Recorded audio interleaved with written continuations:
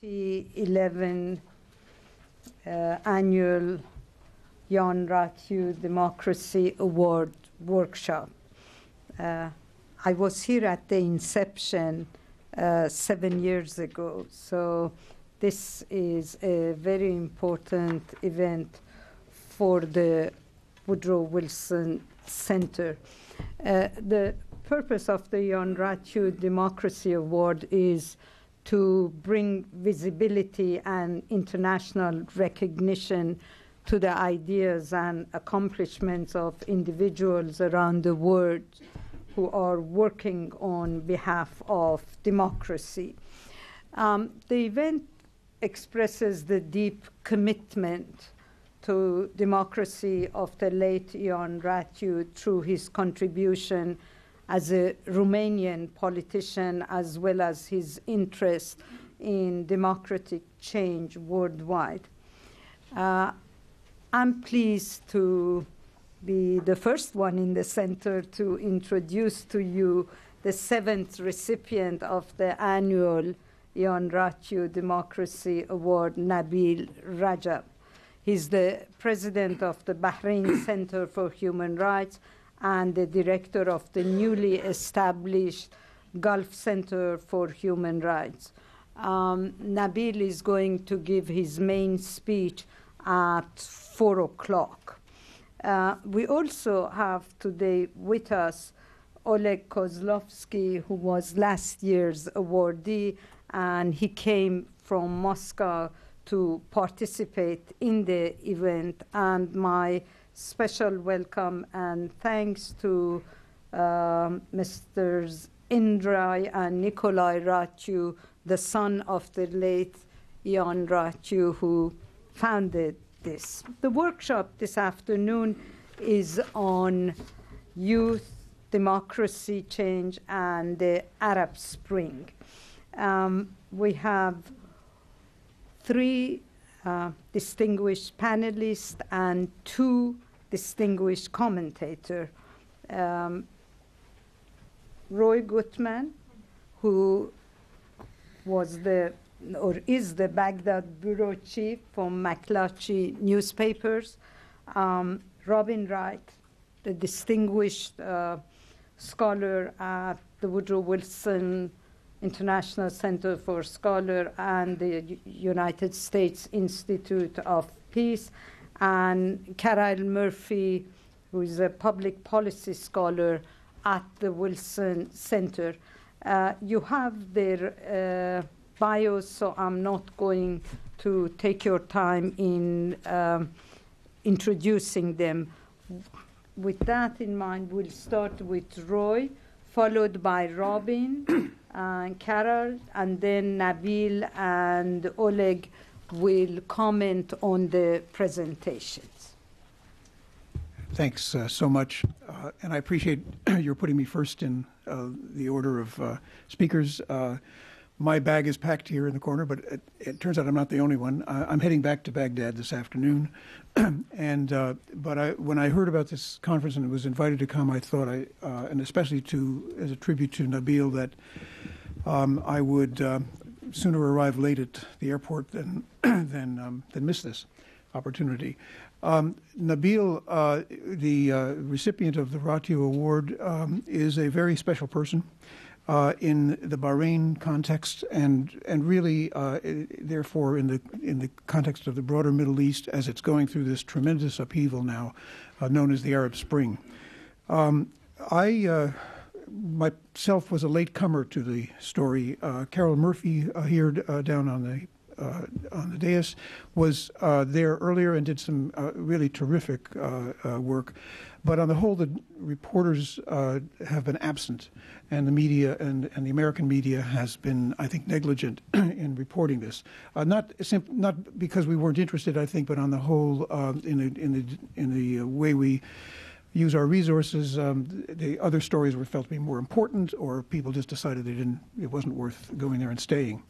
Um, and I arrived in late April. Uh, stayed uh, through uh, uh the mid part of May, um, and uh, like many other reporters, did not have uh, a, a, very good grounding on the history of Bahrain. So I really had to do everything the hard way. Uh, ordinarily, when we go to a foreign uh, country, uh, we organize ourselves as well as humanly possible by getting all the sources lined up, having your fixer, having your driver, having your interpreter, having um, uh, many, many contacts. but in Bahrain, at the time I went in, uh, this was really not possible. Uh, nobody wanted to drive for me. Nobody wanted to translate. nobody wanted to fix for me, make appointments. Um, and I was really on my own. Uh, luckily, I had Nabeel's uh, na- name, address, and phone number, and uh, and went to see him on the first day there. Uh, and I uh, asked him for advice, and he said, "Well, he was very busy. Please come back in the evening."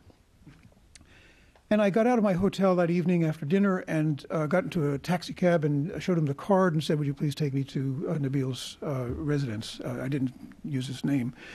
And so he started driving to Bani Jamr. In fact, we got all the way to the village. It's about, uh, I think, eight miles or so from um, from central uh, uh, Manama. And um, uh, he said, "What was the address again?" And, and I showed him the card, and he looked at the name, and he said, "I'm not taking you there." I will have nothing to do with this man. If I if I take my taxi into his neighborhood, uh, I, I, will lose my taxi. I will lose my car. I could be arrested. And so there on the main highway, uh, about a mile from his house, I was unceremoniously dumped as a journalist. And this, this is something that, uh, in all of my many experiences, I hadn't had this happen before. Um, and I, uh, uh, and he wanted to be paid, by the way, uh, for the fare, one-way fare. Uh, so uh, I called up Nabeel, and Nabeel just said, with total aplomb, he said, "Oh, don't worry, I'll come and pick you up." And he did, and in fact, he drove me back to my hotel that night, uh, sparing me about an eight-mile walk and uh, the, uh, uh the, the, the, humiliation of uh, having lost my appointment. Uh, and but the, the, thing about Nabeel, and, and I think this is where the the judges really have made the right decision, is that he's a man who collects facts who is extremely diligent, who seems to work, um, if not, I did wake him up the other night, uh, and I apologize uh, for a comment, but on the whole, he, he seems to go without sleep, and, and, um, and his facts check out. And for a journalist coming into a scene uh, uh, that's as, as uh, complex and as, uh, as really tricky as Bahrain's, this is just invaluable. Um, and he's managed uh, through his many, many contacts in the media and way beyond, I think, to keep the Bahrain story alive. He's been maybe uh, the single most uh, person responsible uh, for for doing that. And there are many heroic people in Bahrain. I want to make uh, please uh, don't don't mistake this for saying uh, he's the only guy. No, there's some terrific people there who are who are honest, reliable, uh, really uh, stalwart people who, who want a democratic outcome, but have managed to spend a lot of time in jail. And the re- real mystery you have to ask um, uh, Nabeel about later, if he doesn't mention it in his remarks, is how have you stayed out of jail? um, the uh, uh, what I wanted to say is, in the in the short time I was there for a couple of weeks, I I did see the youth of uh, of uh, Sitra and other villages uh, in revolt. Uh, I, it was very furtive. It was it was very sneaky. It was at the middle of late at night. they would come out in a group in a, a dark in a dark street, and they would um, and they would chant uh, something we want democracy or down with the king or whatever they were chanting. And uh, a, a, few blocks away, the police would be uh, gathering uh, their uh, cruisers and their men, manpower and their um, tear gas and their buckshot weapons. And they were playing a cat and mouse game. And it went on every night that I was there. And I, I, I, tell you, they, the, the the courage they're showing is, uh, is, is, is equal to that of any other country in the Arab Spring. they are not going to be uh, basically suppressed, and, uh, and they don't respect a, a, government which is attempting to suppress free speech. Um, but uh, these young people in Bahrain, it seems to me, have done something uh, that, um, that um, even the others in, in many other countries have not done. uh, the others who are in revolt, and that is they have stirred up a geopolitical hornet's nest. Uh, the the and I think again Carol, who's lived in Saudi can, about for several years, uh, can uh, g- give better depth about this. But the the fact is, uh, Saudi Arabia treats Bahrain, with which it's it's connected by a causeway, as almost like a propriet, proprietary um, entity, uh, where the Saudis uh, have the the basic uh, uh weight. Uh, they are su- supporting the economy in a very major way, uh, and they are providing security mostly out of view. but since the time that they sent their forces in with other Gulf Cooperation Council uh, countries, but they were the leading figure, the leading power, and they uh, and they still are. And the I, I just came back from uh, uh Riyadh uh, and was talking to everybody I, I could reach in and out of government about what the Saudis intend for Bahrain and why they are so um, hung up on Bahrain. I mean, it is an independent country. It is a sovereign state. It does uh, have its own uh, history and so on. And um, uh, you know, what's what's it to them? Well, it's a it's an awful lot to them. Um, th- and frankly, uh, it is often cast by the Saudis as a as a case that uh, of of the competition with Iran. Uh, and that, uh, that, what they fear is a zero sum game. That if uh, Bahrain should develop a democratic system, that is to say, uh, maybe turning into a constitutional monarchy. The Khalifa family, who have who rule the country, have been there for more than two centuries. So this is a long-standing uh, uh, monarchy. But if it were to turn into that, that um, uh, that the biggest gainer would be Iran, and this is because, as you all know, I, I expect, uh, the majority population in Bahrain is uh, Shia. Uh, and uh, uh, as is, of course, uh, Iran. Uh, and, whereas uh, Saudi and the caliphs who run Bahrain are Sunni. So, in a sense, there's a there's a sectarian issue from the Saudi perspective, um, and they do not want to see Shia running Bahrain. Um, and I was told by somebody who may or may not know, uh, uh, you know, what really is in the king's mind, that uh, were it to happen that uh, the Bahrainis got a constitutional monarchy where actually the majority ruled and and but still respected the king, that um, the moment they, that the Saudis saw somebody, it could be anybody in a in a faraway village, uh, carrying a banner showing uh, support for Iran, like a picture of Khamenei or uh, the supreme leader, um, that the Saudis would be sending in forces immediately. That this would be war. They would be in there. Now uh, it's it's quite a uh, quite a threat uh, because. God knows nobody can control every person in, in the country, even if it's a, uh, a totally legitimate uh, uh, uprising and they, and they have real, genuine grievances. Um, so uh, this is a uh, this is a very serious uh, threat. Now, I, I, happen to think that this may be just a cover story. That this may be one uh, important element for the Saudis being so uh, concerned, and uh, that the more important thing for them is is really just the, the nature of the regime at this ta- time and the speed at which it reforms. because I think if you talk to some of the intelligent Saudi officials, and there really are many of them, they will all concede that uh, that Bahrain does need a change of of uh, leadership in the political sphere. that the uh, prime minister, uh, the uncle of the king, really uh, has his time, his sell-by time has has uh, come and gone, and that Bahrain has got to find its way to a better system. what they fear, I, I, think, the most is the speed at which this happens. because if Bahrain were to change uh, uh, its political system in the near term, Kuwait would be next. And then after Kuwait, the Emirates. And God knows after the Emirates, maybe even Saudi itself. And so uh, there's, a, uh, there's a kind of a geopolitical dominoes uh, game that they are seeing. Uh, uh, the second thing just to mention is that the, the rivalry with Iran is a very serious one, and it's one which I don't think is always uh, discussed in rational terms uh, by uh, even the experts uh, that one can find in, in Saudi. And it and but it's, it's it's a real thing, and the Arab Spring has exacerbated it. Bahrain is one example, and the other one, which is not on the discussion today, is Syria.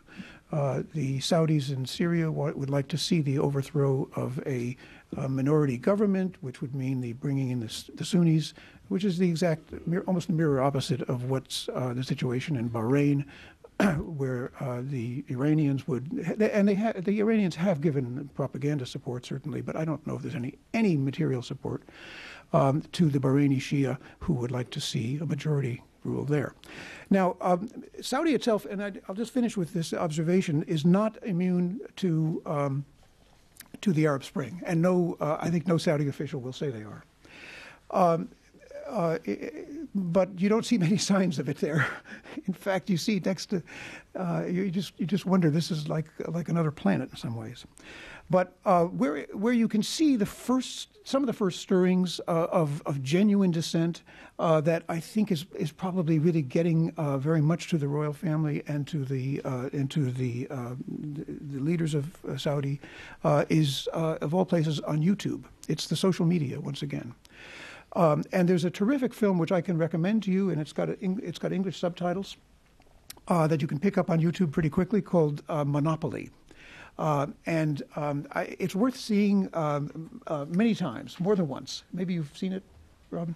Um, anyway, it's um, uh, it's about uh, the housing shortage, something that many of us just never heard heard much about, and and and certainly hadn't been documented that much um, in the Western media.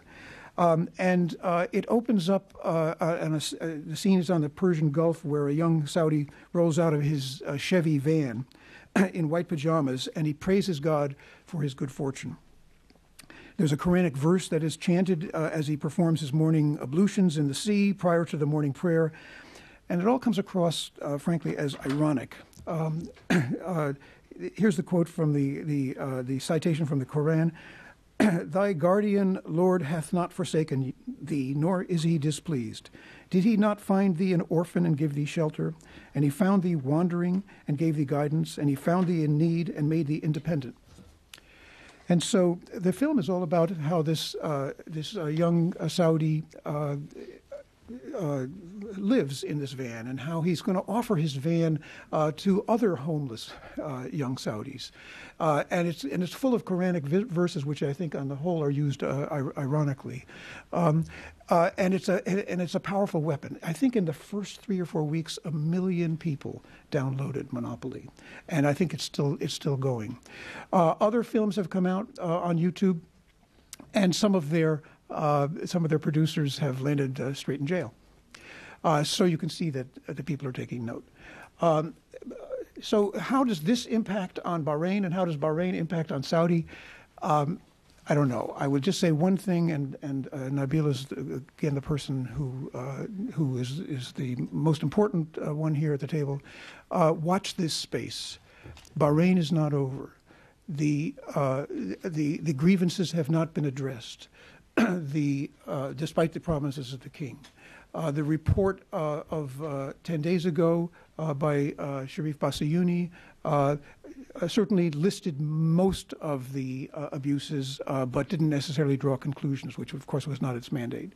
Um, but if you look at that as a factual record, and if you listen to Bar- to Nabeel's very factual accounts, then you'll see Bahrain is still there, and Bahrain, uh, because of these geopolitical reasons I've just given you, I think is a, a vital place to watch. Thank you. Thank you very much, um, Robin. Thank you very much. Uh, thank you to Holly for including me. I'm delighted to be here uh, to honor someone who's done such important work. Um, I wanted to step back a little bit and look at the broader phenomena. What is it that has led to the uh, uh emergence of youth as the critical factor in changing the face of a part of the world that has lived under autocratic rule for not just um, uh, centuries but millennia? And I think there are four factors that I want to identify. And one is the very basic issue of numbers. Uh, you have demographics in which two thirds of the population, of the 300 million population in the Middle East, is under the age of 30. And this is proportionately the largest baby boom in the world. And for someone who emerged as a product of the baby boom in the United States, I know how it can change a society. And so we can't underestimate the numbers game to begin with. Uh, the second factor is one that isn't often uh, credited enough, and that's literacy. For the first time in the Middle East, you have the majority of people who are literate. They may not have college degrees or high school degrees, but they are literate. And they can see this offers them context beyond their immediate village, their immediate environment, their immediate home. Uh, it helps build aspirations. It helps build a sense of um, whether it's the nation, the region, or the world. And I think this has been critically important because many of the people, the young people in the region, see them see their lifetimes having played out at a time that there's been extraordinary change elsewhere in the world.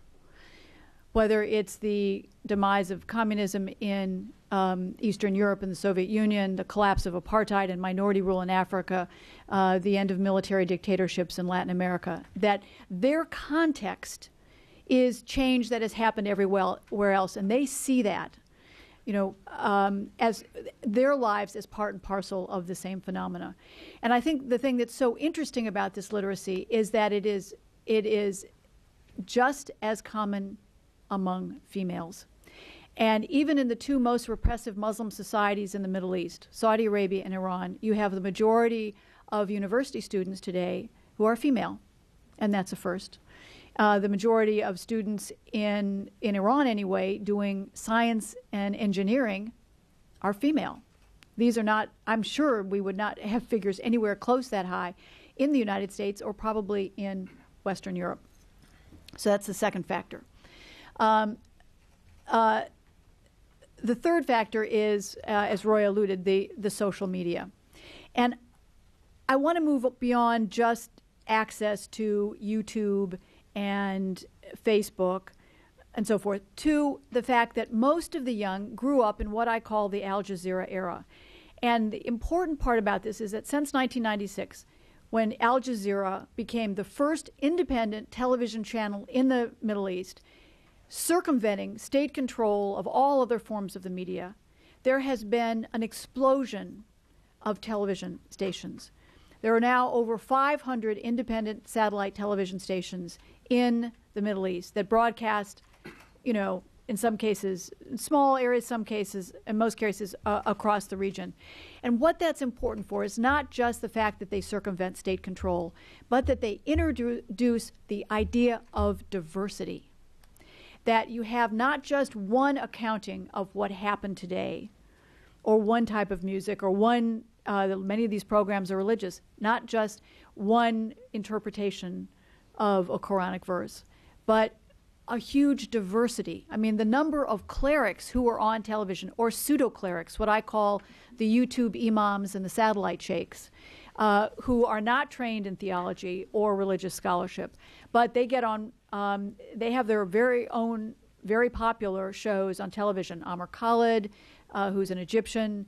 Uh, uh then you have um, uh, Ahmed al Shugairi in Saudi Arabia uh, and then you have someone conservative like uh, uh, Qaradawi, uh, that there is this full range of ideas that is out there.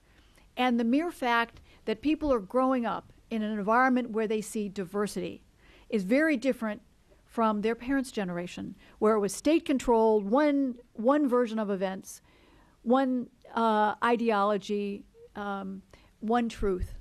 And for a religion where the observant have believed that there was one path to God, the whole idea of introducing diversity, different interpretations, is really tremendously important.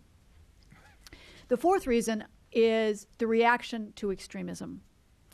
That, particularly since 2003, we've seen a number of attacks in many of these countries that ended up killing their own. And Iraq is one of the prime examples. There was recently a survey, uh, maybe six or seven weeks ago, released that showed that the United States had lost 200 um, deaths, had suffered 200 deaths two suicide bombs in Iraq. Iraqis, since 2003, had lost 12,000 killed and over 30,000 injured. The price that they are paying, not just in lives, but in economic loss, political uncer- uncertainty, unemployment, um, you know, even things like basic electricity and so forth, that the, the consequences of this unstable environment has taken a real toll. And that in turn relates to their ability to look at a future, develop a future, whether it is finding a home, uh, having access to employment, having enough money to pay for, for uh, to get married. And that is a big issue. That this has affected virtually all aspects of life. And so all of this comes together, I think, in a, a very profound way and has produced a generation that is disproportionately powerful. Um, unfortunately, not well equipped, not experienced, without the resources to deal with creating an alternative. But they know what they don't want. They know there is diversity, that there is something else available to them. And so they, are, they have taken, you know, all kinds of imaginative steps. And the mere fact that you've seen in diverse societies the young taking the lead, whether they are in living in military dictatorships, uh, monarchies, socialist regimes, whether they are rich, whether they are dirt poor like Yemen, whether they are deeply tribal or homogenous, that in every society you've seen the same kind of um, expression, the same uh, turning to, uh, initially anyway, peaceful civil disobedience. Um, and the thing that's important about this is not just the politics of change, the kinds of things that we see play out on the streets of Cairo or Sidi Bou Said and or, uh, Sidi Bouzid in in uh, Tunisia or in Homs and uh, Hama in in Syria. It's also important in in what I call the culture of change. Because when we look at how deep does this trend go among the young, how long can it last, um, what are its roots, it is often the culture of change that has been what initially got them into, uh, helped at- attach them to a movement, to, a, to an idea. Uh, and this plays out in a place like Tunisia, where we saw um, uh, Mohamed Bouazizi become the first in his act of self immolation last December 17th trigger this uh, explosion of um, dissent. But it was, but he carried out his act in an environment where you had seen young rappers who had begun to challenge the regimes, who would put songs that were far more critical, openly critical, of uh, President Ben Ali than any politician in his 23 year rule had ever been. So, talking about in song and, and in verse how people were living off garbage, that uh, the police were interested only in privilege and profit rather than the practice of law and order. Uh, and, and that happened several weeks before um, Bouazizi set himself on fire. And it was fascinating to watch how this song placed on Facebook, where and 20% of Tunisians are on Facebook, how it spread, and that immediately afterward, as uh, people were demonstrating moving from town to village uh, up through Tunis, that people sang the hip hop song of the young rapper in their protests, and then it was sung in Egypt, and later apparently in Bahrain as well. That there, uh, that it is the culture of change that has brought a lot of the young, uh, partly with uh, through help of uh, the social media, into politics, help them define what they want, help them express their rage, help them co- to connect with each other in societies where you can't openly join a group or join a civil society movement that is calling for change, that they attach themselves to each other through culture.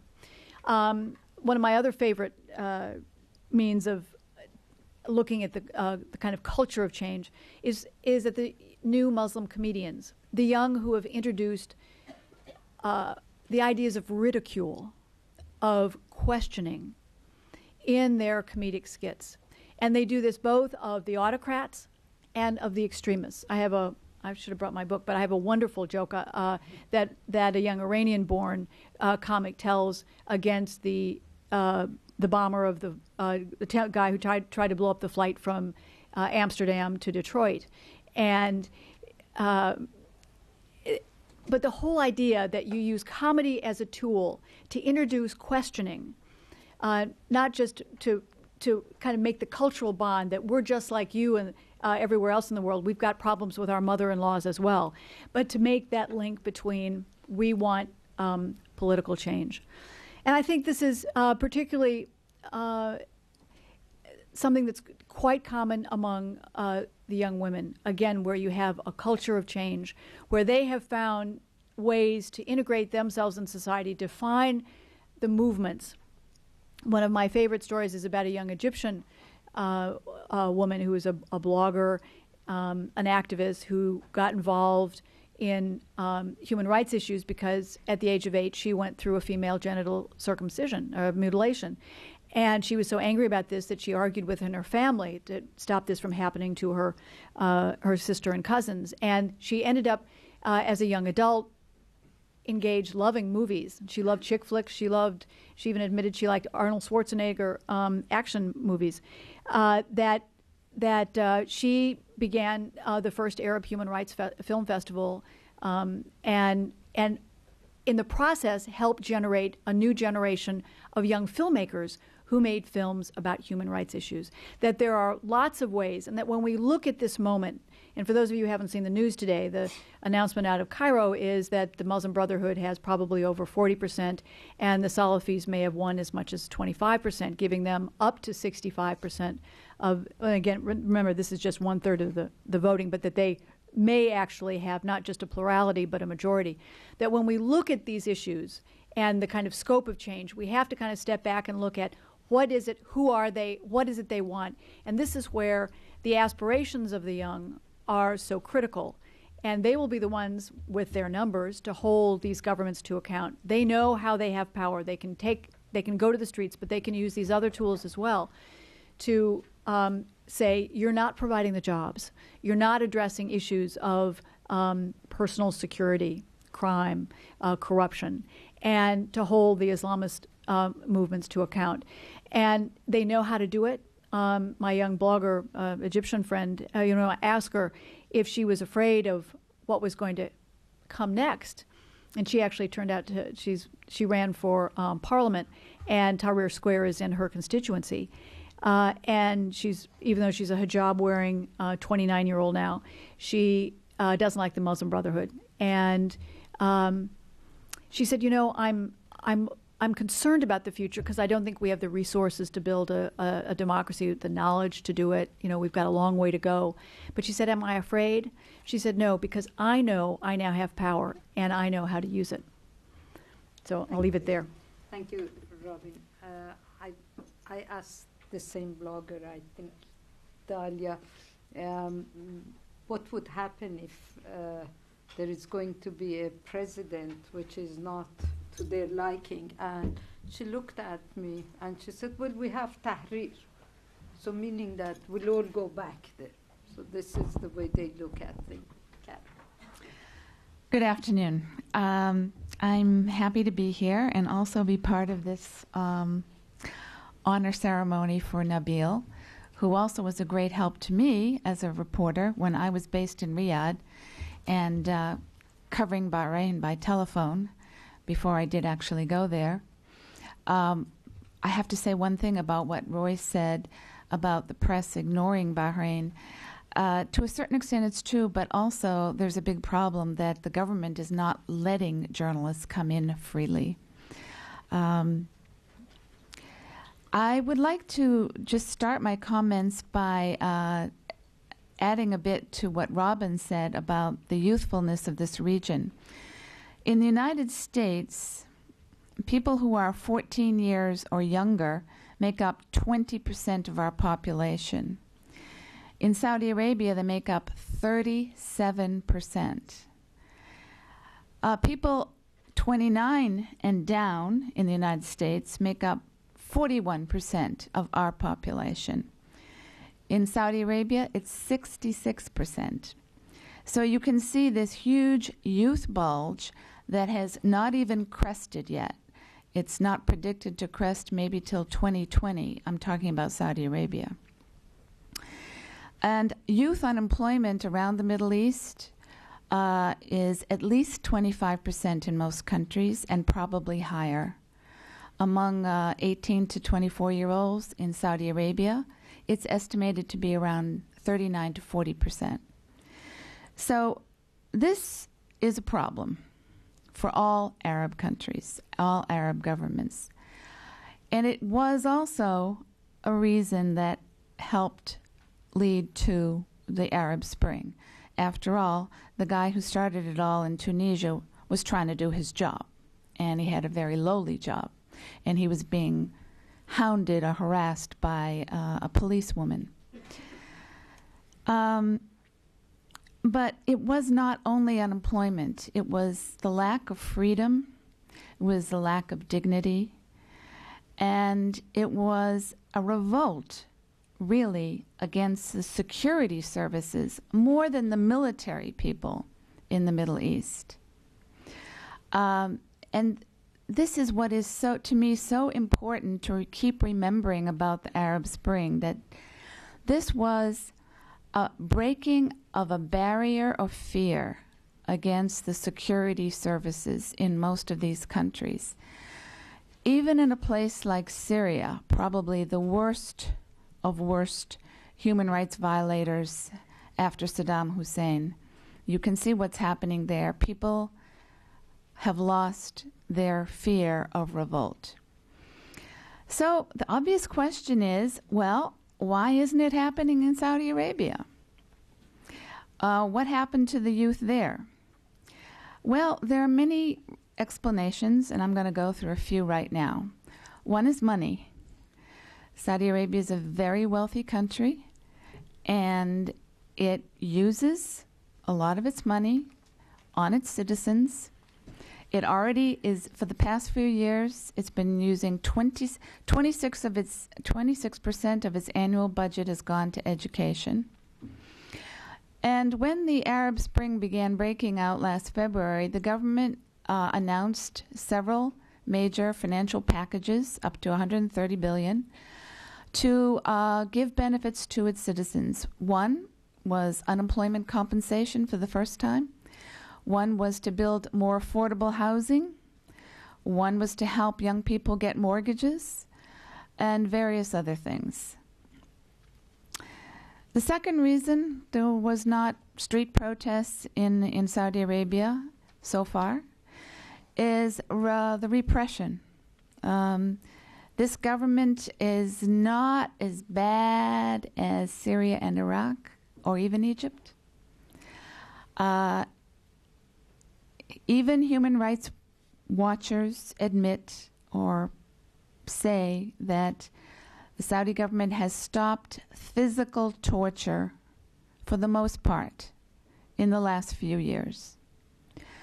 They use different methods. They use um, solitary confinement and not seeing your family and verbal abuse. But the level of physical torture uh, has never been as high as it is as, as it was in Iraq or is in Syria.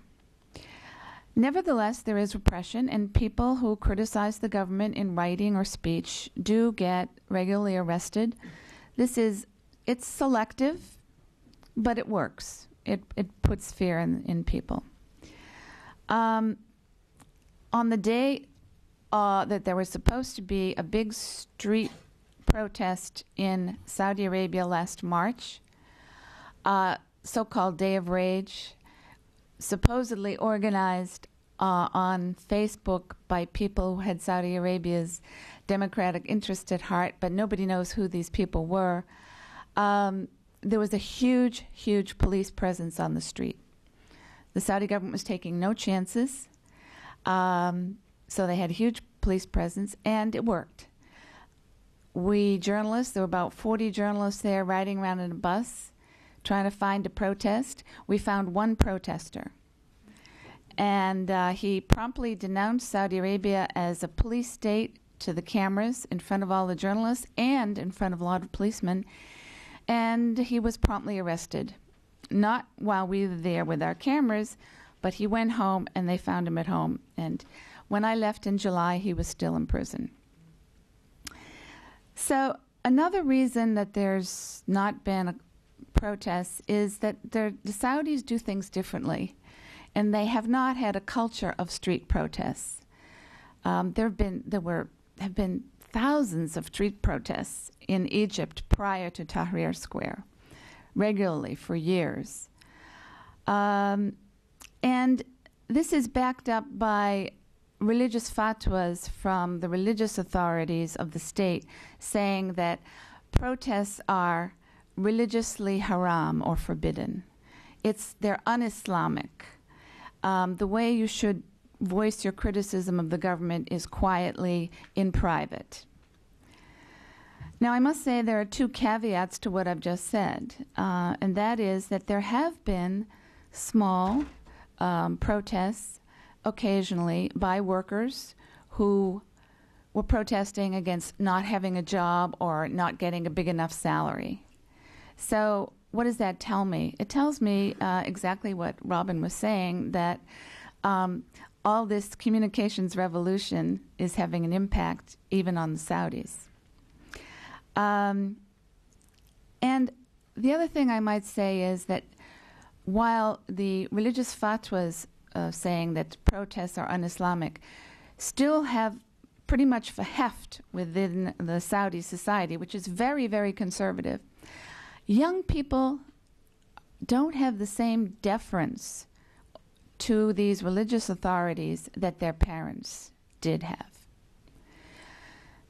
The most popular religious cleric in Saudi Arabia has nothing to do with the government. He is a government critic, although a very soft spoken one. Um, and he is somebody who praised the protesters in Egypt. Now, uh, Saudi youth, because just because they didn't go into the streets, um, doesn't mean they're not affected by what's been going on.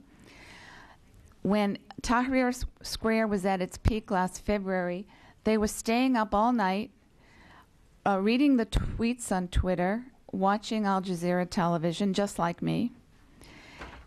And they were saying to me, you know, Egypt is like our sister state. They really, Egypt, Saudis have a, a deep, rela- a good relationship with, with, with Egyptians. And they were basically telling me um, what happens in Cairo doesn't stay in Cairo. In other words, they were hoping and expecting there to be repercussions. But what the Saudi, even the young people, don't want is they don't want chaos in the streets. They look at um, Iraq, they look at Syria, even Tahrir. They don't want that in the kingdom. What they want is the government to voluntarily begin a process of political reform, giving them more political participation. They don't want to get rid of the monarchy because they see that as endangering the Saudi state. What they do want is political par- participation and elected parliament and cabinet ministers whose average age is not 60 like it is now, but 40. Um, so this things are very much changing in Saudi, but it's changing very slowly. And the people who are bringing change are young people. And right now, there are 20, 120,000 Saudis studying abroad. 47,000 of them are studying in the United States. They're beginning to come back to Saudi Arabia. And what do they want? They want a job. And the jobs right now are not there for them. So the government is getting a little bit panicky about this, and they're starting some programs to to they know they have a problem. That's the first step. So they are beginning to change.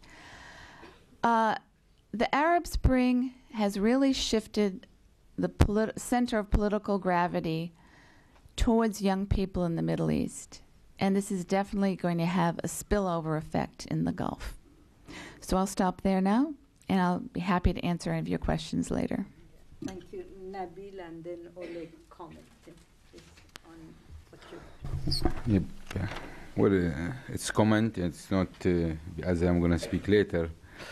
Uh, Roy was uh, saying uh, the fears of Saudis uh, that democracy in Bahrain it could threaten the Saudi Arabia, which is, I think, uh, true because we cannot guarantee tomorrow if democracy come to Bahrain that will not have an influence on Saudi. And Saudis are uh, all other nations that they deserve to have uh, democracy. They deserve to live in justice, where they are not now.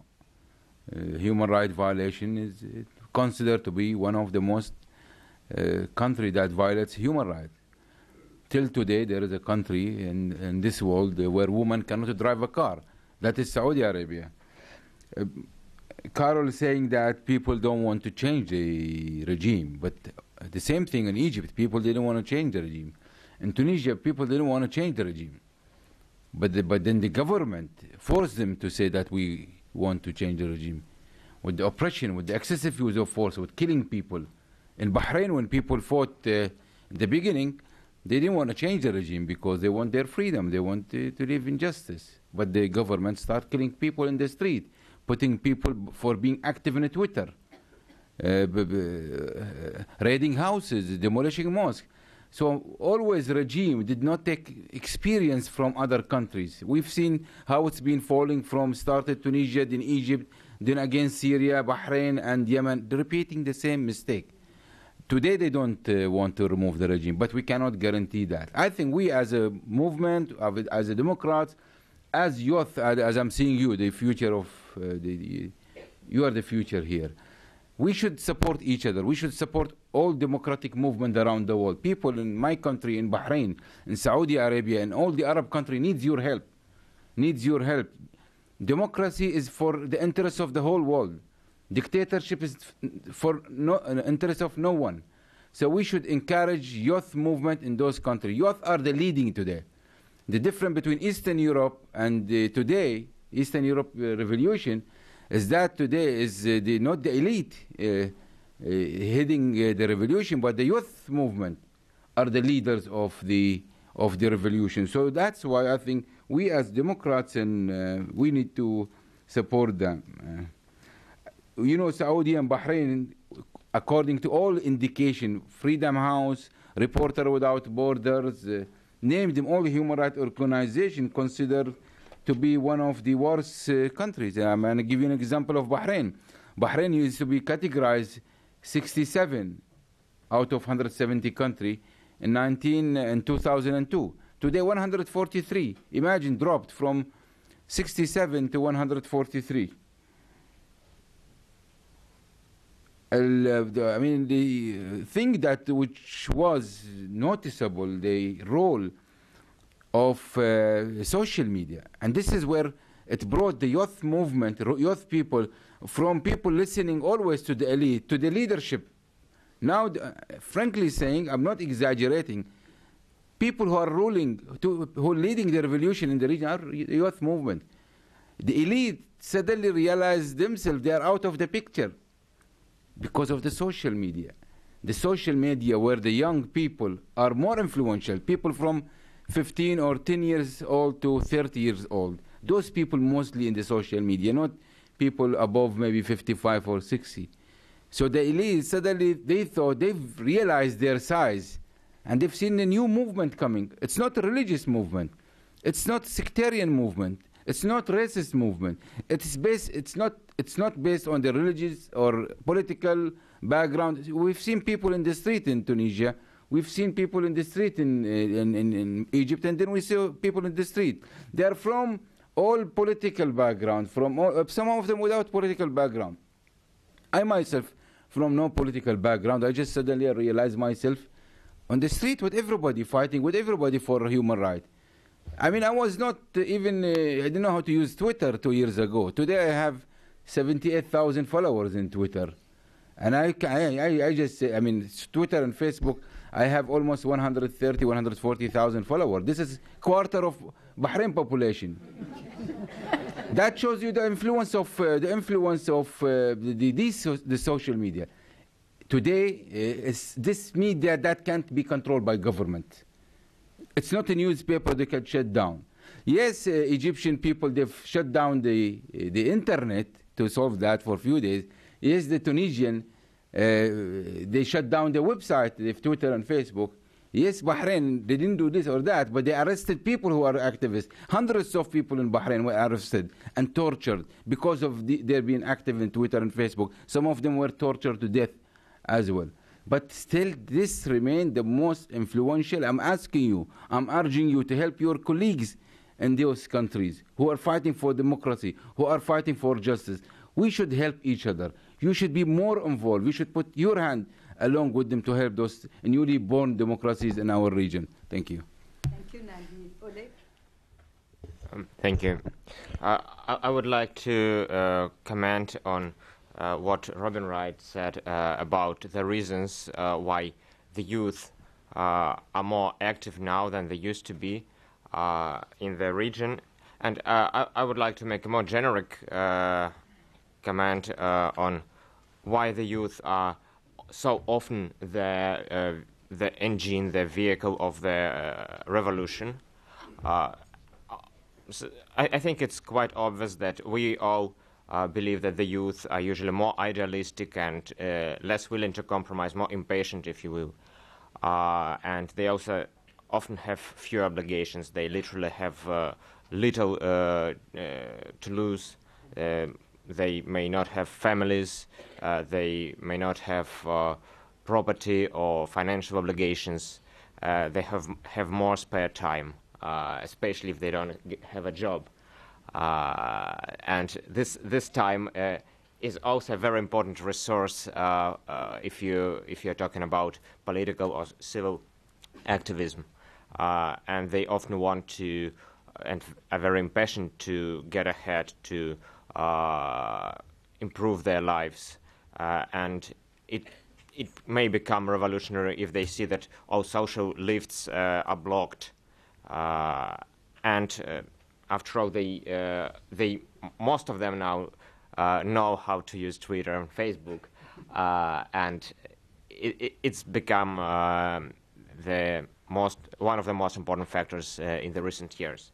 But uh, there, there are also other cases, and uh, I may use the case that is the most familiar to me, uh, my country, Russia, uh, where the youth are in general uh, much more conservative, or a bit more conservative at least, than the general population, contrary to, the, to these common beliefs. While there are many young people who want to have change, there are even more who are quite conforming, uh, who support the regime according to the uh, opinion polls, uh, less likely to protest. Uh, they often say that politics is dirty, so this is, sometimes this is their expression of idealism by not participating uh, in politics, uh, which may or may not be the case in Saudi Arabia or some other other countries of the Middle East, uh, they have fewer horizontal networks. Uh, they often believe that uh, they really depend on the older generation and on the establishment. And therefore, uh, if they want to be successful, uh, they have to cooperate with the regime. They have to be uh, to support the status quo. Otherwise, they will be kicked out. and this is a very very thin uh, uh, a, a, very thin uh, border with with the situation when they feel that all is blocked, the, all, all the ways to get ahead are blocked, and they have to change the system. Now they feel that they, they can cooperate. If they feel that it's become too difficult, they will withdraw their cooperation. Uh, and sometimes it's also about culture. Uh, and when uh, when the culture in the society in general uh, values uh, money or career higher than dignity, uh, then the youth are very rece uh, receptive uh, to this uh, to, to, this um, cultural these cultural values, and they are not going to compromise their success in in their careers, for instance, uh, for uh, fighting uh, for dignity. Uh, however, all of these things are temporary, and I think that probably in uh, in Saudi Arabia and most probably in my country, uh, this is going to change, and the youth is going to become more politically active. Thank you. Uh, Thank you very much, uh, Oleg. We will open the floor um, to uh, uh, your questions and if you have any comment. Robin, let me ask you a question. In uh, 2009, after the Iranian presidential elections, we have had massive demonstrations. I mean, the figures vary from a million to two million, and um, substantial number of the protesters were young people, and their use of social media, that's 209, was mostly cell phones to notify each other. And then, of course, we had then bloggers and so on, but there was less talk about Twitter and Facebook and so on it didn't have any ripple effect across the region then. While in the Tunisia, this is a question to you, to Nabeel, to Carol, too. I mean, why didn't the Iranian protest movement, not only was it aborted in Iran, but why didn't it have a ripple effect then, and then vice versa? Why doesn't what happened today in the region why isn't it affecting Iran? Uh, well, a couple of things. First of all, I think the fact that the state in Iran could use force to put down the uprisings shows how inexperienced they all are. The same thing happened to a certain degree in uh, Bahrain. You use, you exert enough force, you put up enough manpower, you uh, use, you know, pull the plug on technology that you can force these movements down. That's what the Syrians are trying to do now, uh, not successfully. Uh, but I actually think there was a bit of a ripple effect because the people I went out to see in the run up to what became the Arab Spring in Egypt and so forth talked about, man, if they can do it in Iran, they, we ought to be able to do it here. And I think it did have an impact in their thinking that, wait a minute, you know? Uh, that the kind of demonstrations, as Carol pointed out rightly, that there have been lots of demonstrations in the Middle East at different points. We went through the Cedar Revolution in Lebanon, the Damascus Spring, that there had been lots of protests in, in Egypt for various things that it never quite generated the momentum. Um, and it was interesting that after uh, Egypt, particularly, that some of my Iranian friends were telling me about they made another stab at trying to get something going again. And it was very short lived. And again, the, the state superseded or was able to put it down. But they came up with this very clever tactic that were like flash mobs. And they would go to a street corner or a park or whatever, and they'd have a group of them, and they'd take their videos, and they'd have two li- two rows of cars waiting for them. One to take them quickly after 15 minutes because they knew it would take 15 minutes for the the cops to get there, and they'd go to the next spot. And meanwhile, the second row of cars would hold back the security um, police. And they tried that, and that you know didn't generate enough uh, in terms of size or um, you know attention, and so it, it didn't succeed as well. But I think this is where we tend Americans to be so so impatient. You know, we think of Hosni Mubarak can go in 18 days. Hell, you know, you can get rid of the whole whole every dictator in a, in a mere six months, and it just doesn't happen like that. And that this is a long process, and that whether it's Syria or Yemen uh, or more recently Libya, that the that these longer examples um, are going to be more typical because after Egypt and after Tunisia, the regimes were all put on notice. This is what could happen, and they all began taking precautions. And if it hadn't been for the NATO uh, in, intervention in eroding the intelligence and military capabilities in Libya, Libya would have gone on for a lot longer too. It would look much more like Yemen than than um, than Egypt, and so. Um, you're absolutely right in your question. And it's a great question. It's one that people ask all the time. You know, why did Iran was Iran able to put it down and the Arabs weren't? I mean, there again, you had the military that turned on the leaders because of their own sense of privilege, and in some cases, you could argue that that uh, Tunisia and Egypt, for all the, the noble things the kids did at Tahrir Square, were in the at the end of the day, uh, the first phase was a military coup d'état to protect their own privilege, and if they hadn't done that, the kids alone could not have done it. I think uh, no. I think they were successful because the Iranian, the first people to use the social media in the region for protesting and coming out, and we learned, um, in fact, from the Iranian. But the difference is that they were fighting to for a candidate against one candidate. I mean, not.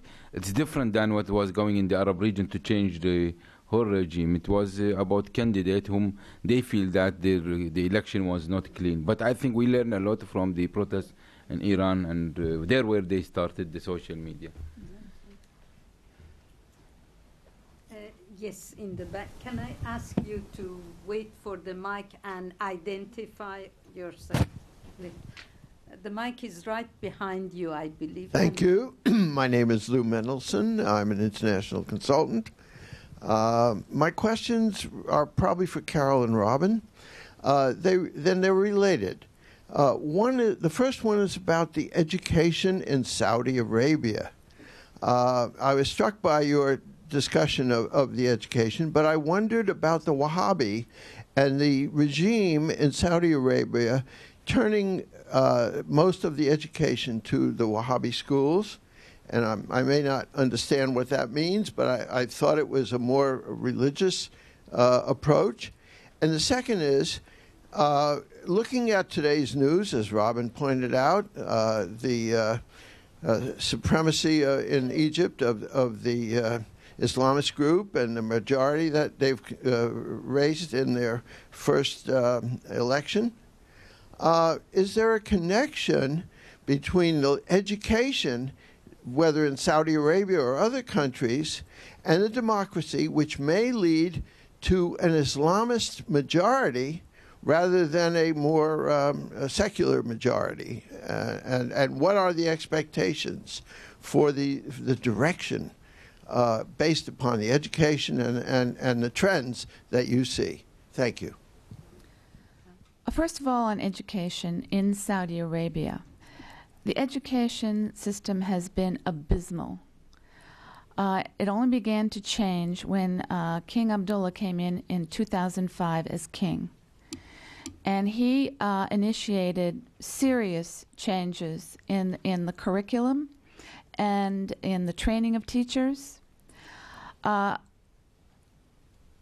even before, even up to now, a predominantly large proportion of the classroom is devoted to religious subjects and to Arabic. And this is the uh, religion, religious subjects influenced by the Wahhabi version of Islam, which is the dominant one in Saudi Arabia, which, as you all know, is very, very conservative.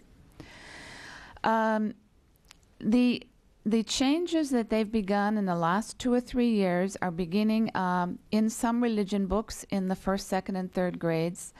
Uh, the math and science, they've got new textbooks, new curriculum. They're giving more emphasis to math and science. Uh, there have been uh, five or six or seven new universities created, some of them private, but obviously they still have to follow government regulations. So, a sincere and serious process of educational reform has begun. The question is, will it be fast enough? And I have my doubts about that. Um, so, uh, and if you meet kids 18 years and older, they will express deep frustration with their education because they'll tell you, I wasn't trained to do anything. I can't do a job. I didn't learn anything. Um, they didn't learn a work ethic. They didn't learn how to be in business. And they are frustrated, both men and women. Now, the, the second part of your question, uh, you know, Egypt had a very secular education system, but, you know, they just elected Islamists uh, to to their parliament in a in a plurality, um, if not a majority. Uh, the popularity of the Islamists uh, today in Morocco, Tunisia, and Egypt, they've already they've won elections in three of them. The popularity of Islamists doesn't really stem from the type of education system. It stems from the fact that people are really tired of a system and a society that was copied from France or the United States uh, or Britain. And they've all failed. Uh, you know, socialism, capitalism, pan Arab nationalism, blah, blah, blah. They've all failed. So let's try something indigenous. Let's try something that comes from our soil, our hearts, our religion. And this is what's happening today. And this is why what is happening is so very exciting. It's an age of experimentation.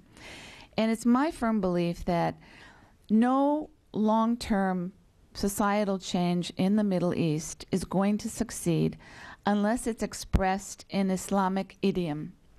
And that's what's happening now. This is why people are attracted to the Muslim Brotherhood because they talk the language of Islam. Now, so does the government in Turkey. And they're not radicals.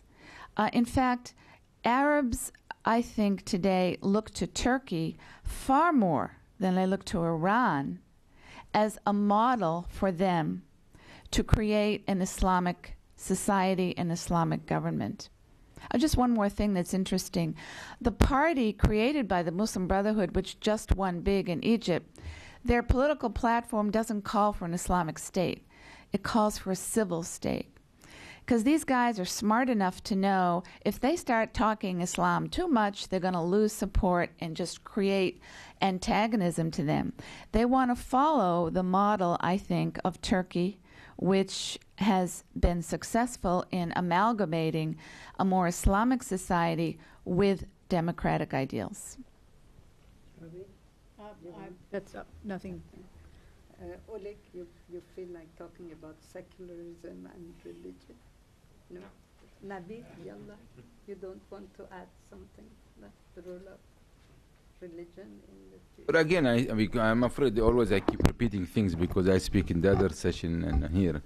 Uh, since uh, I mean, there are worries about uh, the school in Saudi Arabia, and I think uh, most of the extremism come from that part of the world, from that part of uh, education, and uh, I'm worried also that they send a lot of people with the same belief to Egypt to interrupt and to damage the what we expect to be a newly born democracy, as they've done with Iraq in the past few years. But thanks God, it did not succeed. But from the other side, I said, if you can't say Islamist as it is one group. Islamists are many groups now. There are people Islamists you have in Saudi Arabia, then you have Islamists in Iran, then you have Islamists in Turkey. Which Islamists are you talking about? I, th- I think uh, they have the right to be in politics. They have the right to express their uh, political opinion. They have the right uh, to engage in whole political process, and they have to respect the political process. They have to respect the democracy, uh, and we should give them a chance as we give everybody. Today we have successful model that uh, in Turkey where people in the West have a good relation with the West and has have good relation with the Islamic uh, countries. So, uh, so it's not a bad model which has been accepted. So what I'm saying, there are fears I've realized, ex- exaggerated fears of Islamist, Islamist, Islam. First of all, Egypt is we're talking two days old, يعني, two days old uh, election. Wait, uh, the wait. I mean, Iraqi first election, second election, a lot of problems. Second one will get better. The third one, you know, it takes time, process. People need to learn that. Don't get in hurry. Thank you. Yes, in the front, please. Just, yes, uh, wait, and then in the back. Just wait. But identify yourself. Thank you. Hi there. Uh, my name's David. I'm unemployed. Uh, so, one of the interesting features about the Gulf region is that there's such a huge population of foreign workers. And I don't know the case about Bahrain or Saudi, but uh, Qatar, um, I think there's, there's maybe a quarter, fewer than a or less than a quarter of the population is uh, is Qatari. In UAE, you can walk around Dubai for the evening and not see an Arab person. So, has the foreign population played any role in the democracy movement in the Gulf? Thank you. Well, we don't expect uh, foreign uh, workers coming from uh, Southeast Asia poor to be engaged in political uh, arena, which is very dangerous for them. Being part of the unionist movement and all that, that could be dangerous. I've seen uh, last year when they were engaged, some of them in a protest in United Arab Emirates and in Kuwait, what has happened, they were deported and sent back home. Uh, you know, it's easy everything in the in the, the hand of the ruler. They can do. I mean, give an example of a friend of mine. He's from Pakistan. He born and lived all his life in Bahrain, and he's doing looking after our work, our website in the center, which is blocked in my country. The the government discovered that, and they sent him back home, and they blacklist him after 30 years living. So you don't expect this poor community to be engaged. Uh, Besides, uh, there are uh, there are a lot of human rights violations committed against these uh, migrant workers in the Gulf. They don't have right to, to gather. They don't have the right to be part of union. They don't have the right to be strike, and they've been treated badly. They've been giving very low salaries. So there are full. Um, uh, we will. There are uh, big list of reports being issued by human rights organization, including Human Rights Watch, and so they are marginalized in our uh, in our society as well as the local people marginalized from the rural, ruler. But we hope that they could have a, a political role in the future. They could have. Uh, uh, in the uh, role in the unionist movement because majority of them are men they don't uh, not women majority يعني, of them they come as a worker for two years three years four years and then they go back home so there is they don't play any role so far Uh, no role at all in Saudi. They're they're just um, non-political. Sure. In the back, please, and then, yes. My name is Peter Baumbush. I'm a retired lawyer. Um, I uh, printed out the other day and pretty much ruined my printer the report of the Bahrain Independent Commission of Inquiry. I think it's about 500 pages. Um, in the back, this is uh, for Nabeel, please. Um, in the back, it talks about the negotiations that uh, went on between the Crown Prince and some of the uh, opposition groups. And it suggested that they failed, and had they succeeded, this would have changed things. I wondered if you could comment on those negotiations because I really don't understand what went on and what the results were. Thanks. Well, it's political question. It's difficult to ask a human rights activist, uh, but I will still, I will still uh, comment. Uh, people were protesting and uh, started 14th of February uh, youth movement calling for the same obligation, the same promises the king have given the people of Bahrain in 2001 but then he, he did not fulfill those promises. So on the same 10th anniversary, 14th of February, people were protesting. As you know, many people were killed.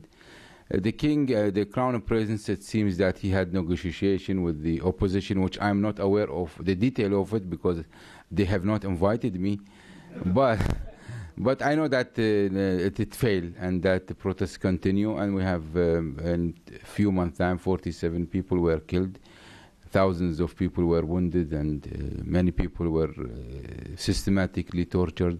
No less than 100 people lost their eyes because they shot them in their eyes. Men, women being raped, sexually harassed, mosques being demolished, houses being raided, and people, I mean, it's very bad. But let's hope things be better. Now let's take this, I mean, this is an opportunity the government could take and the ruling elite could take this report as an opportunity to go forward. Yes, it's not perfect, but it could be stick, taken as a step number one by the rulers to implement this, this recommendation, and we are watching them in the coming days on that. Thank you. Yes, here. Uh, yes, and just the mic is coming, please. Thank you. I'm uh, Benjamin, too. I'd like to return, uh, in a sense, to the question of foreign workers that the uh, young gentleman uh, just uh, raised in the context of the potential for reform. For example, in Saudi Arabia, which has a very high uh, percentage of foreign workers, these workers could gradually not be replaced and uh, jobs created for uh, Saudi youth, including for uh, young Saudi women who could drive around, the other women who don't drive, and so on. what is the, uh, I realize this cannot be done overnight because of, uh, but uh, the fact is, is that Saudi young people are getting educated and so on, could qualify for many of these jobs. Could you discuss the extent to which uh, Saudi officials are studying this issue and the prospects for possible reform along those lines? Um, there are 21 million Saudis. There are 8 million foreign workers in Saudi. 90% of jobs in the private sector, 90% are held by foreigners. Um, it's a shocking statistic. I didn't believe it when I first saw it. Uh, I mentioned earlier that the government realizes it has a problem providing jobs. So uh, they are getting tougher on their process of Saudiization, which is the policy they've had that companies should hire Saudis, not foreigners. It's never been uh, enforced. I mean, and uh, everything the government did to try to enforce it, the, the, the businesses would get around it. Because what businessman wants to hire a Saudi who he'll have to pay 4,000 rials a month to and who will only work 35 hours a week and leave when he has to drive his wife to the doctors because she can't drive? Instead of hiring a Pakistani who uh, only cost him a thousand rials a month and will work weekends and overtime and never complain. Uh, so, you know, the business, the business community, who all have royal family partners, they don't want to change this. They like the foreign uh, workforce. But last spring, the government announced a new a new effort at uh, Saudiization, and they've rated every company, and they put these for the first time on the internet, so you can see which company in Saudi is obeying the um, quotas for Saudi uh, employees and which is not. We still don't know. We'll have time will tell how strictly this is going to be enforced. Um, the other thing I read about, I don't know the details, is that Saudi are are are thinking of putting limits on the amount of money a foreign worker can return home. Uh, this will be a great disincentive if they if they actually do this uh, for foreign workers to come to Saudi. Uh, I don't really see how they're going to enforce that either.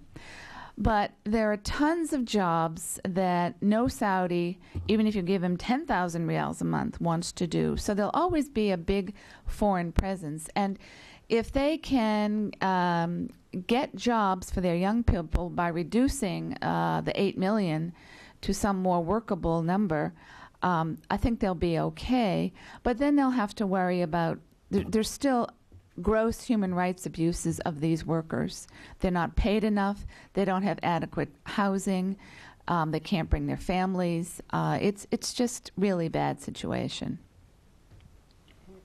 Yes, please, the mic here. Can I have the mic? Yes, the lady in the, thank you, yes.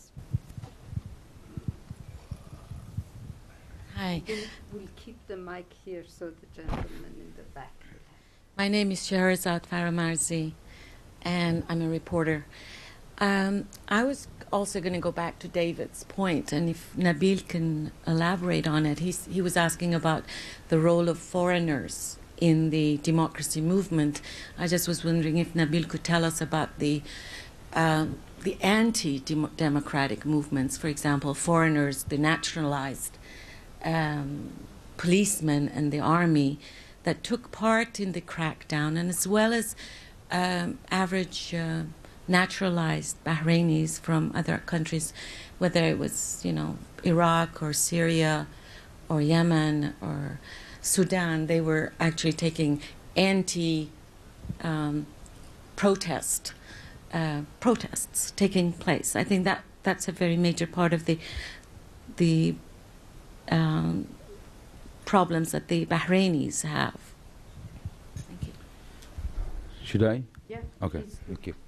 Yeah, this is uh, another side of uh, migrant workers and how it's been exploited by the government.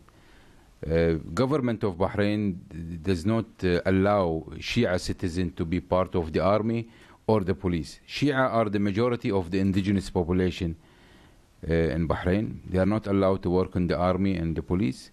So they bring army from outside, from Jordan, Syria, and Yemen and Pakistan. And the same thing they have for the police. And most of the uh, people who uh, have committed the violation against the local and the killing in the past uh, uh, uh, month, they were migrant uh, employed by our government. They bring them as mercenaries uh, from uh, tribes, uneducated people, and they use them in those uh, security, intelligence, army institution. And that is a problem because that makes a kind of hatred between the local people and those uh, groups.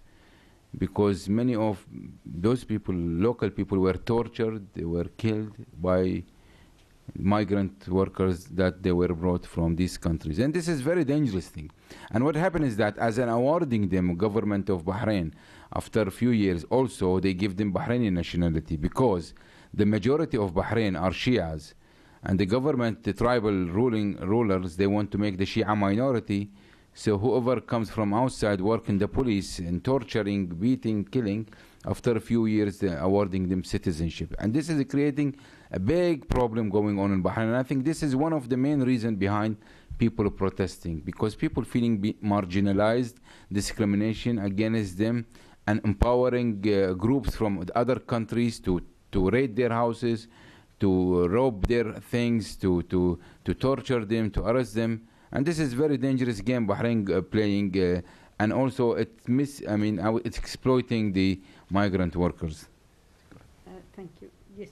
Uh, uh, Robin Wright had to leave because she's catching a plane also, like uh, Roy Gutman. Hi. Um, oh, I'm sorry. Um, my name is Zach Ritter, and I'm a student at Georgetown, a perpetual student, so I'm also unemployed technically. Um, graduate student. Yeah.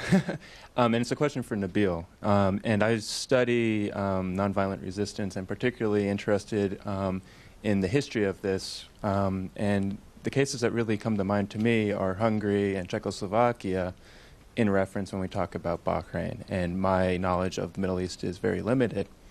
Um, but my question, I have a twofold question. Um, first, was it a surprise to the Bahraini youth movement when the Saudis and GCC des- decided to intervene and assist the Bahraini government in repressing their own people? Um, and second, has that had a long term psychological impact on the youth movement because you're no longer just uh, have a move, movement directed toward your own sovereign government, but you're also now caught in between a geopolitical game. And so, as we saw in Hungary, East Germany, Poland, or the Czechoslovakia, it's it, they went underground for quite some time. So, what are your expectations about protests and the type of resistance we could expect to see? I don't believe in working underground. That's why wherever I go and I ask people when I'm there and you tweeting, keep my name in Twitter, so my government knows that I'm speaking about them. And also at the same time, I want people to learn how to work uh, openly, because when you work underground, here is the dangerous. Here it, mistakes come. Nobody can see you, and you keep continue doing that, and that would maybe it will lead to violence. Most of the violence groups were working underground. But when you work openly, the ability to work, I mean, to be violent is a bit limited. Just for your information, Bahrain Revolution was the most peaceful revolution. We fought guns with roses. And we are not planning to kill our killers, no. We planning to take them to justice. We, we want to build our country. We want to build our future. We want to build our nation. We believe in democracy. We believe, uh, believe in human being. So we want to have a, a country that has justice. We don't believe in, and thanks God, most of people in the leadership level in my country, they don't believe in violence. That's why we could maintain the, the movement to be peaceful and it will remain peaceful. And I, I hope with all the frustration, it will remain peaceful. Yes, it was frightening, the Saudis' invasion to Bahrain, but what was more frightening is that Western countries, uh, including United States, which say, give help to some countries uh, who uh, to, because the army killed their own people and they were quiet in Bahrain.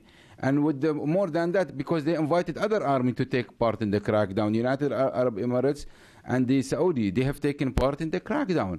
Now you can, and they have two language. This is the problem with the Western country. They have two language. Very tough with Syria, which they have to be. Very tough with Libya, but when it comes to Bahrain, which does worse thing, they are very silent about. Yes, it disappoints us. Yes, it makes people very upset. But we're gonna continue on with our struggle, and we're gonna win. Uh, Oleg, you want to comment something on similarity?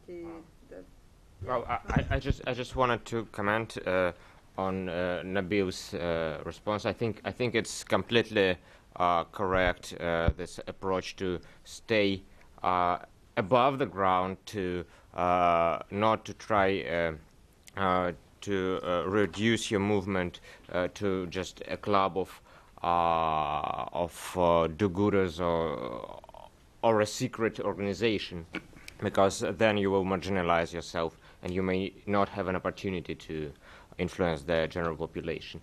Although I, th I think what was meant in the question is uh, what you're going to do uh, if, uh, if it becomes completely impossible to do anything uh, openly, if, if uh, any kind of dissent will uh, make you a prisoner. I, I think this is, this, this is what was problematic. I think the late uh, Ayn Rand says that uh, if there is somebody struggling for democracy and freedom, so there is a hope. So I believe there is a hope. yes, David, did you have a yeah? Uh, just uh, wait for the mic and please identify yourself. Uh, Dave Ottaway is a senior scholar here. Nabeel, a, a, a historical question. Uh, there were a lot. There were a lot of political. There was an uprising in the early '90s um, and it went on for a number of years. And there were a lot of people killed, and you had a the Shiites had a confrontation with the government. What parallels and non-parallels do you see between what happened then and what's happening now? I was uh, in the 90s in the street with people, and I'm today in the street with people. Same people who were in the 90s, but today, of course, movement more educated. Today, with internet, with exchanging view, it's less extremism among everybody. It's more tolerant, uh, tolerant society now. With the exchange of views through the internet and Facebook, I think we are one of the most active nation in the whole region on Facebook, and, and that helped us even improve ourselves, improve our langu- language, improve our attitude, accept the others, accept the other beliefs, religion.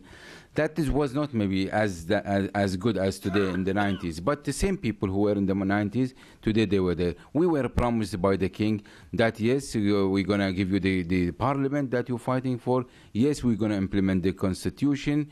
Everything that you demand is going to be met but unfortunately, the man, after two years, he changed his mind. Why he changed his mind, I don't know. And that's why today people in the street, it's just because the king changed his mind and gave us uh, an institution that has no power to legislate or monitor. Corruption is going on. Human rights violation continues. We've seen no changes. The situation of Shia has become worse during this uh, parliament. So, uh, because he did not keep the promises, that's why today we have seen the same people are out because those promises were not met. And I'm sure today, I mean, tomorrow, if we have a solution, political solution, people are going to, even those people who are talking about overthrowing the government, they will revise that idea once they see a real reform is being uh, introduced inside Bahrain. the lady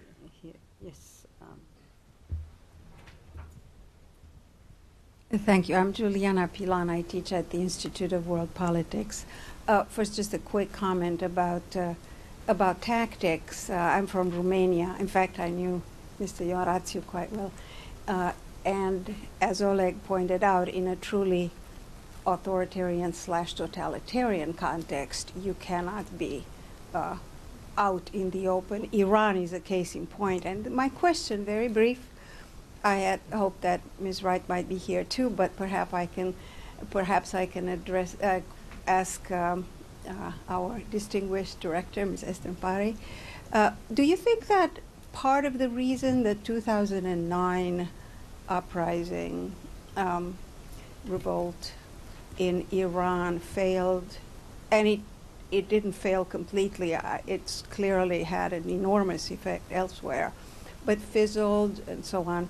Was the tepid response from the United States? Um, Nabeel? I'm not an expert in Iran. No, just uh, it uh, concerned you. Yeah. This. I think there was a, I mean, fail, fail on what? I mean, I don't know. They haven't a specific demand at that time. The Iranian were out to overthrow the regime, but they have a demand about the election. And will they fail? And I always I look at things positively. I said they have not failed because we have learned from them a lot. We have learned how to use social media and how to make out of this tool active and to be in the street.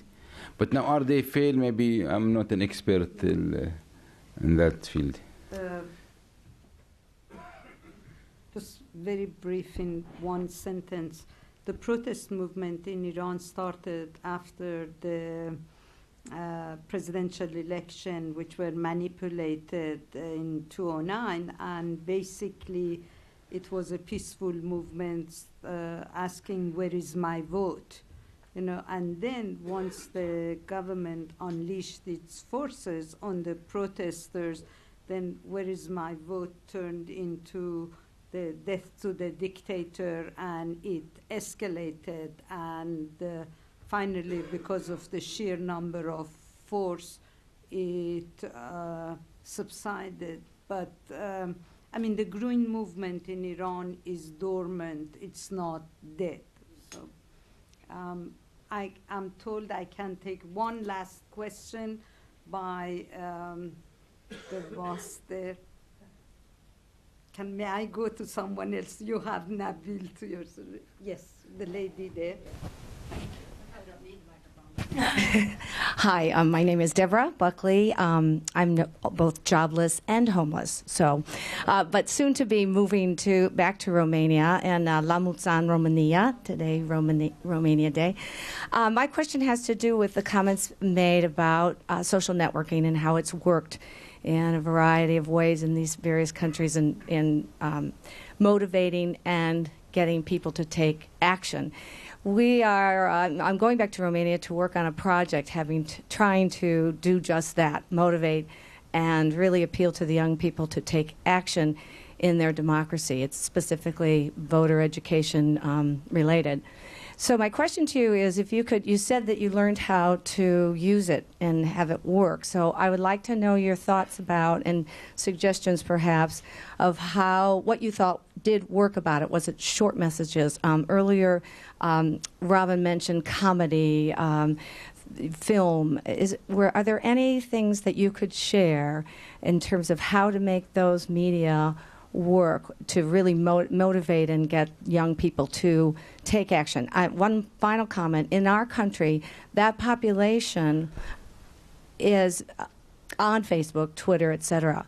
But they, in the in the voting population, they make up the smallest percentage of voters. So I was also curious in terms of that the actions that are taken by that population.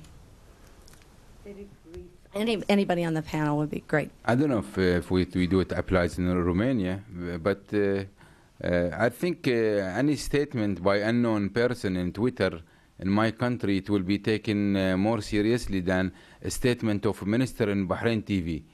It has more credibility. Uh, so it's a credibility of the news, and also they need to know something new. I'll give you an example of myself. I am, uh, uh, again, because of my work, I'm a news provider.